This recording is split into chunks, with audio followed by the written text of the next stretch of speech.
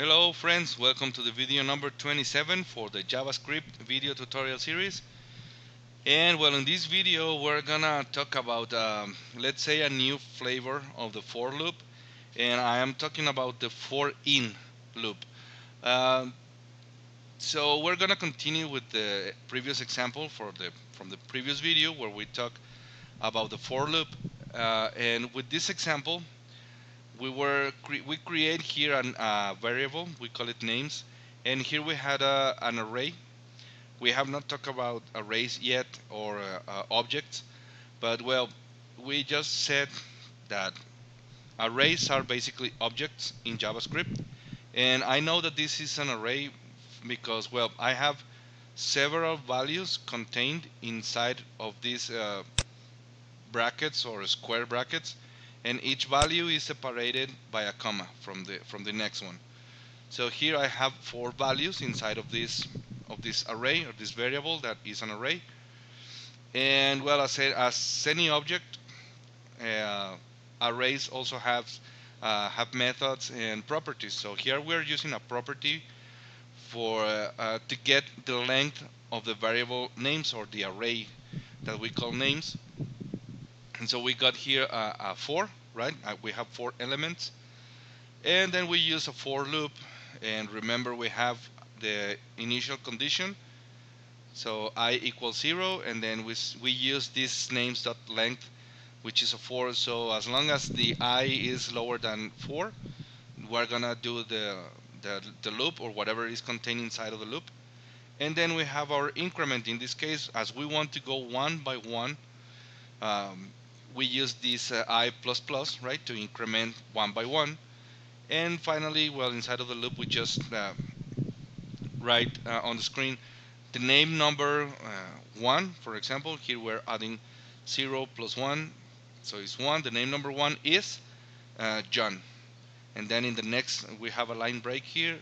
So the name number 2 is Tom 3 is Sarah 4 is Susan. Okay so let's just look at this one more time in Chrome there it is. So now the new way of doing it is using the for in loop. Um, and again this is gonna be very useful when we want to pass through or uh, we want to traverse through each element contained inside of an array or, a, or an object right? Uh, so the only thing that we need to do uh, rem remember you can use any name that you want to use. In this case, I'm gonna using I'm gonna continue using uh, the i. Uh, you can use, for example, n in names, just because well, it's the first the first name uh, name the first letter of your of your variable that contains your object or your array. Uh, but well, as I have I am using the i here and here I'm gonna again continue using the i for i in. That's it. We just need to write the in we, we can see that it's a reserved word, right? Now the Notepad++ plus immediately turns it blue and italic, so indicates to us that this is a reserved word. So for i in, and then the name of the variable, names, right? The variable that contains the object or the array. Uh, and well, that's pretty much it. Let's just save this and run it. And we just we obtain basically the same thing, but we just see that we have this 0, 1, 2, 3, and then 1, 1, 1. So something weird is happening here, obviously. And well, remember here, I'm trying to add the value of i plus 1. If I'm getting 0, 1, 1, 1, 2, 1, 3, 1, so here is starting at 0, 1, 2, 3, so the element 0, element 1, 2, and 3.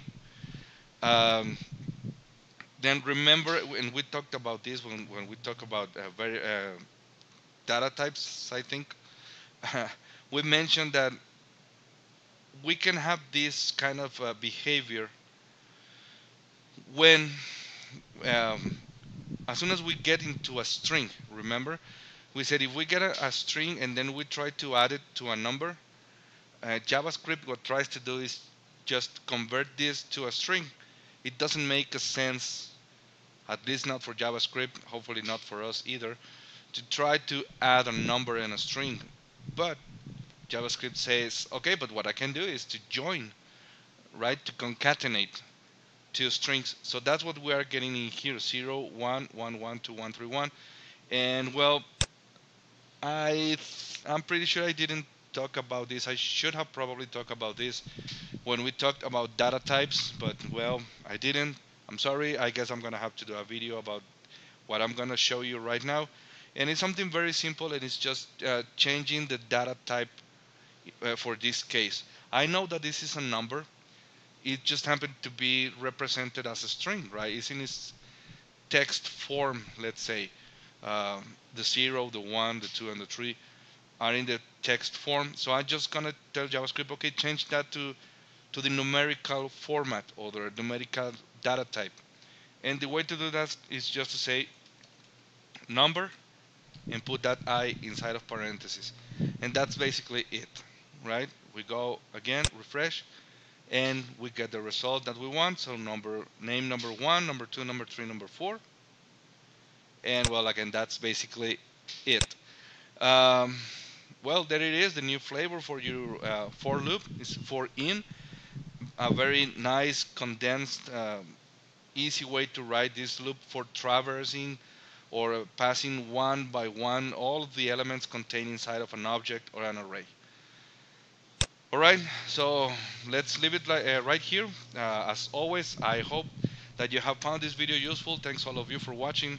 Please don't forget to subscribe, uh, share and like the video. And well, I hope to see you on the next one.